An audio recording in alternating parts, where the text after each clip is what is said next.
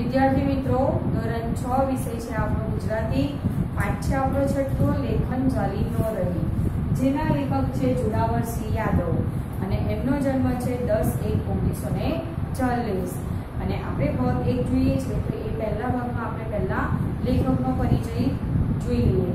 અને લેખન જાલી ન રહી, લેખન એટલે કલમ. તો કલમ જાલી શકાતી નથી. એટલે કલમ પકડીને આપણે ગમે તેવું લખવા બેસે. લખી જ નાખીએ છીએ એવી રીતના પાઠની અંદર પણ એવું સરસ એની રચના આપેલી છે. તો જુઓ, આપણે પહેલા લેખકનો પરિચય મેળવી લઈએ. જોરાવરસિંહ દાનુભા જાદવ, એટલે એમનું આખું નામ છે. ધંધુભા તાલુકાના આકરુ ગામના વતની છે. લોક સાહિત્ય ક્ષેત્રે સંશોધન સંપાદનમાં એમને વિદ્યાર્થી કાળથી જ રસ હતો. એમને અત્યાર સુધીમાં લોક સાહિત્યની વિવિધ કથાઓને અનેક પુસ્તકો રૂપે પ્રકાશિત કરી છે. મરદ કસુંબલ રંગ ચડે. આપના કસબીઓ મરદાય માથા સાટે. લોકજીવનના મોતી વગેરે એમના લોકકથાના લોકજીવન અને લોક સંસ્કૃતિને સ્પર્શતા વિવિધ વિષયોના પુસ્તકો છે. અને આ જે લેખક છે, એ લેખકે લોક સાહિત્યમાં ઘણા બધા સંશોધન અને સંપાદન એમને વિદ્યાર્થી કાળથી જ એમને એમાં રસ હતો અને એની અંદર એમને સરસ પુસ્તકો લખ્યા છે, લોકકથાઓ લખી છે, લોકજીવનને સરસ રીતે નિરૂપણ કર્યું છે. તો આની અંદર પણ એવું જ એક લોકજીવન છે. તો આપણે પહેલા હવે પાઠનો પરિચય મેળવી લઈએ કે ભર પંથકની આ લોકકથામાં કહર સંગે કરેલી દાંડાઈનો બદલો હરકચંદ કેવી યુક્તિથી વાળે છે, તેનો તાદસ્ય ચિતાર મળે છે. આ લોકકથામાં માનવ સ્વભાવની વિષમતાનો પરિચય મળે છે. લેખકે ભર પંથકના તળપડા શબ્દોનો સુંદર, વ્યવહારિક વિનિયોગ ભાષા કર્મનો ઉત્તમ નમૂનો પૂરો પાડ્યો છે. એટલે કે આની અંદર શેનું છે? તો ભર પંથકની એક લોકકથા છે. કહળસમ છે અને હરપચંદ છે. તો આ જે કહળસમ છે. એ કહળસમની દાંડાઈનો બદલો હરપચંદ શેઠ એક યુક્તિથી વાળે છે અને એ કથા આપણને આ પાઠમાં આપેલી છે. તો જુઓ પાના નંબર ઓગણત્રીસ ઉપર. કે ગુજરાત અને સૌરાષ્ટ્રના સીમાડાને અડીને ભલ અને કરેર, કનેર પંથક પગડીને પથરાયેલા છે. હવે આની અંદર બે શબ્દાર્થી છે કે સીમાડા. તો સીમાડો એટલે ગામની હદ અને પગડી એટલે શું છે?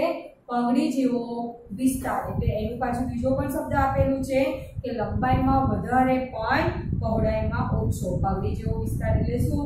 લંબાઈમાં, વધારે પણ પહોળાઈમાં ઓછો એને કહેવાય પગડી. કુદરતની અમી દ્રષ્ટિ હવા ઓછી હોવાના કારણે એના માટે આદિકાળથી એક કહેવત એક કહેવત કહેવાતી આવી, કપાળમાં ઉગે વાળ તો બાલમાં ઉગે ઝાડ. એટલે શું?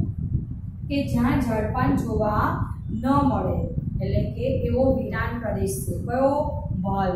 આ જે ભલ પ્રદેશ છે, તો એ ભલ પ્રદેશ કેવો છે? ઝાડપાન વિનાનો એકદમ વેરાન ઉજ્જળ પ્રદેશ છે. અને હવે જળપાન વિનાની વેરાન ધરતીને માથે કબૂતરના માળા જેવું નાનું એવું ગામડું ગામ છે.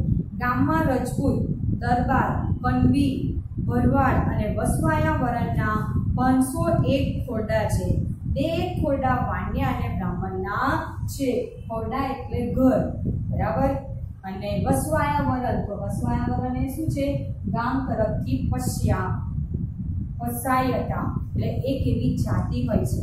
અને એ જાતિને ગામ લોકોએ વસાયેલી હોય છે. એટલે ગામ લોકોએ ગામ તરફથી વસાયેલી જાતિ. એ છે આ વસવાયા વરણ એના પાંચસો એક ખોડા છે. એટલે કે પાંચસો એક ઘર એમના છે. અને બે ઘર બે ઘર કેવા છે? વાન્યા અને બ્રાહ્મણના છે. એના સિવાય રાજપૂત છે, દરબાર છે પનવી દરબાર છે, ભરવાડ છે. બરાબર? તો આ છે, આ ભલ પ્રદેશની અંદરની જે વસ્તી છે એનું કહી દીધું. અને આદિકાળથી એટલે કે વર્ષોથી એક કહેવત છે એ કહેવત અહીંયા જે આપેલી છે એ કપાળમાં ઉગે વાડ તો બાલમાં ઉગે ઝાડ. એટલે કે ઝાડપાન વિધાનની એકદમ ઉજ્જળ અને વિધાન પ્રદેશ છે. ત્યાર પછી આપણે જોઈએ કે ઉનાળો ધરતી પરથી ઉચાળા ભરવા માટે ચોમાસાના પગરન મંડાય અને ભારે વરસાદ તથા વાદળીથી ગાળા માર્ગ બંધ થઈ જાય છે. મૌર્ય ગામના ખેડૂતો તાલુકા મથકે હટાણું કરવા જતા અને ત્રણ ચાર મહિના ચાલે એટલી જીવન જરૂરિયાતની ખેતીની અને ઘર વપરાશની સટરપટર ચીજ જણસોની ખરીદી કરી ઘરમાં સંગ્રહી રાખતા એ સમયની વાત છે એટલે પહેલાના સમયની આ વાત છે કે જ્યારે ઉનાળો જતો રહે અને ચોમાસાના પગરાન મળે એટલે કે ચોમાસાની શરૂઆત થાય, ભારે વરસાદ આવે ભારે વરસાદથી કડા કદાચ જે ગાડા વાટે લોકો પહેલાં આવા બધા સાધનો નહોતા તો ગાડો બળદગાડો આવે તો બળદગાડાથી લોકો એક ગામથી બીજા ગામ જાય કાં તો શહેરમાં બધી વસ્તુઓ લેવા જતા, તો એવી રીતના એમ કે એક ગાડા મારા બંધ થઈ જાય ચોમાસામાં, તો એ પહેલા તાલુકા મથક એટલે તાલુકો હોય મોટો ગામડાનો, મોટો તાલુકો તો ત્યાં આગળ એ લોકો હટાનું કરવા. હટાનું એટલે ખરીદી. તો એ ખરીદી કરવા ત્યાં આગળ એ લોકો જતા. કયા લોકો? આ વાલ પંથકના જે લોકો છે, એ લોકો. ત્રણ ચાર મહિના ચાલે એટલી બધી જ જીવન જરૂરિયાતની ખેતીની અને ઘર વપરાશની સટરપટર વિવિધ ચીજ વસ્તુઓ જલસોની ખરીદી પણ કરી લાવતા અને ઘરમાં સંગ્રહી રાખતા. એ સમયની વાત છે. મહેનત મજૂરી કરી બે પાંદરે થયેલા કહર સંઘ ગાડું જોડીને ધંધુકે હટાને કરવા ગયા છે. બરાબર? મહેનત મજૂરી કરીને બે પાંદરે થયેલા કહર સંઘ ક્યાં જાય છે? ગાડું જોડીને ધંધુકે ધંધુકે એટલે શું? કે ધંધુકા નામનું તાલુકો છે. તો ત્યાં આગળ હટાનું કરવા જાય છે. હટાનું એટલે ખરીદી કરવા જાય છે. સુલેમાન ગંજીની ગણીએથી બે ત્રણ ડબ્બા તલના તેલના મોદીની દુકાનેથી દેશી ગોળની વેલ્યુ દાળ, ચોખા, મીઠું, મરચાં, લસણ, ડુંગળી અને બટેટાના કોથળાને બીજું અઘું પાછું ખરીદ કરી ગાડામાં મૂક્યું કોને કહર સંગે. ક્યાં જાય છે? તો સુલેમાન ગંજીની દુકાને જાય છે. તો ત્યાં આગળ તલના તેલના ડબ્બા લે છે. પછી મોદીની દુકાને જાય છે. તો ત્યાં આગળ દેશી ગોળ લે છે. પછી દાળ, ચોખા, મીઠું, મરચાં, લસણ, ડુંગળી, બટાટાના કોથળા અને બીજું ઘણી નાની મોટી ચીજ વસ્તુઓ એ ખરીદીને ગાડામાં મૂકે છે. રંડવાનો ભરડો દઈને ગાડું ગામના માર્ગે વહેતું કર્યું. ત્યાં બે મન કપાસિયાનો કોથળો માથે મૂકીને પવનના વંટોળિયાની જેમ ભવે આવતા હરકચંદ શેઠે સાદ દીધો. અને એ બધું ગાડામાં મૂકે છે. પાછું બીજું શું લીધું? રાંધવાનો બરડો લીધો અને ગાડું ગામ તરફ માર્ગે વહેતું કર્યું. વહેતું કર્યું એટલે એને ગામ તરફ ચાલવાનું શરૂ કર્યું. અને ત્યાં આગળ બે મન કપાસનો કોથળો માથે મૂકીને પવનના વંટોળિયાની જેમ વહ્યા આવતા હોય એવા હરકચંદ શેઠે સાદ આપ્યો. એટલે કવરસેન પોતાનું વસ્તુઓ લઈને ગાડામાં ભરીને, ગાડું લઈને આવતો હતો. ત્યાં આગળ પાછળ કહરસંગ હતા. તો એ પણ બે મન માથાનો કો- બે મન કપાસનો કોથળો માથા પર મૂકીને આવતા હતા. અને પેલા ગાડાવાળાને કહરસંગને જોઈને કીધું, ભાઈ, ઊભા રહો. શું કે છે એ હવે આપેલું છે? પણ એને સાદ આપ્યો એટલે બોલાવે છે. એ કહરસંગ ભાઈ સાત બળદિયાને તાની ચાલો ને આ કપાસિયાનું બચકું ઘર લગી લીધા જાવ ને એ શું કે છે? ઓ એ કહર કહરસંગ ભાઈ, ઘડીવાર તારા બળદિયાને ઊભા રાખ. મારું આ જે કપાસનું બચકું છે, બચકું એટલે કોથળો બાચકું. અને એ બાચકું જે છે, એ ઘર બની લેતા જાવને તો હરકચંદ શેઠ, પછી એ શું કે છે? હરકચંદ શેઠ બળદિયાના ગજા ઉપરાંતનો ભાર આજ ગાડામાં ભર્યો છે. એમાં તમારો કપાસિયાનો કોથળો ક્યાંથી હાલશે? ત્યારે પેલો કહરસંગ પાછો કહરસ હરપતન શેઠને શું કહે છે? કે બળદિયાના ગજા ઉપરાંતનો ભાર આજ એટલે કે બળદ જેટલો ભાર ઉચકી શકે, એના કરતાં પણ વધારે ભાર આજે આ ગાડામાં મૂક્યો છે. એમાં પાછો તમારો કપાસિયાનો કોથળો, પછી એ લોકો કેવી રીતના હલશે? એટલે કે બળદ કેવી રીતના ચાલશે? પછી પેલા હરફચંદ શેઠ કે છે. ભાઈ સાહેબ કપાસિયા ભરે કોઠી થોડી જ ફાટી જાય. ભલા થઈને આટલું બાજકું લેતા જાઓ. એટલે શું કે છે? એમ કે કપાસિયાનો ભરેલો જે કોથળો છે, એનાથી એમ કે કોઠી થોડી ફાટી જવાની છે કે ભલે એમ કે તમે આટલું બચકું આટલું બાજકું મારું લેતા જાઓ. હરફચંદ પાછો પેલા હરસંગ કે છે કે હરફચંદ શેઠ ગામમાં હાથડી મારીને બેઠા છો તો માલ લઈ જવા આગું ગાળું ભળે કરી લેતા હો તો નરી માન્યા વિધિ વાપરો છો.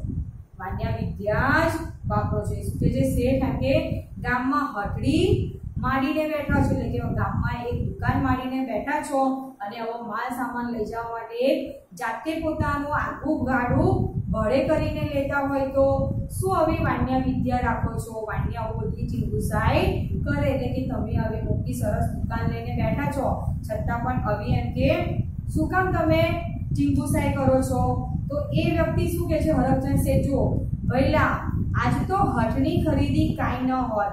વૈદ્યના પડીકા લેવા આવ્યો હતો. પણ થયું કે ઘરે ગાય વિયાય એવી છે ને અહીં સુધી આવ્યો છું, તો લાવને કપાસિયાનું બાજકું નાખતો જાઓ.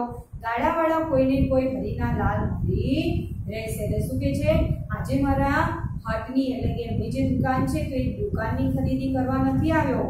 પણ વૈદ્યના પડીકા લેવા આવ્યો છે કે મારા ઘરે ગાય વિયાય છે ગાય એને બહુ આવ્યું છે, એટલે કે વિયાય છે, તો એના માટે એમ કે કપાસ લેવા કપાસિયાનું બાજકું લેવા આવ્યો છું. અને મને એવું હતું કે ગમે ત્યારે કોઈને કોઈ મળી જશે બળદગાડાવાળું, તેની અંદર નાખતો આવીશ. એવું એ કહે છે. તો પછી પેલા કહરસમ શેઠ શું કહરસમ શું કે છે? શેઠિયા, તમે નેવાના પાનને હદ ધોવો છો ને. કાયમ મફત્યું કોણ લઈ જાય.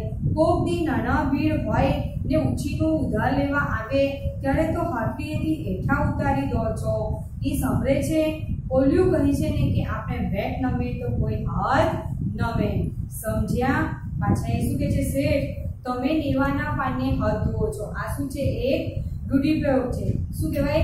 કોઈની ઉદારતાનો દુરુપયોગ. કોઈ તમારી મકડીએ ક્યારે ઉધાર માંગવા આવે તો તમે દુકાનેથી હેઠા ઉતારી દો છો, એટલે કે નીચે ઉતારી દો છો. અને દર વખતે તમે આવી રીતના મફતિયું શોધ્યા કરો છો. તો તમને એ પાછા એમને કહે છે, કોઈ હાથ તમે હાથ નમો તો કોઈ વેત નમે એવું કહે છે કે તમે કોઈને નમ્યા હોય, તો કોઈ તમને નમો તમે કોઈને સહેજ મદદ કરી હોય, તો તમને પણ કોઈ મદદ કરે. પણ જ્યારે તમારી પાસે મદદ માંગવા આવે છે, તો તમે તમારી દુકાનની નીચે ઉતારી દો છો. એવું કહે છે. અને ત્યાર પછીનું જે છે, તો આપણે અહીંયા આપણો ભાગ એક પૂરો કરીએ છીએ. અને હવે પછીનું જે છે એ આપણે ભાગ બેમાં જોઈએ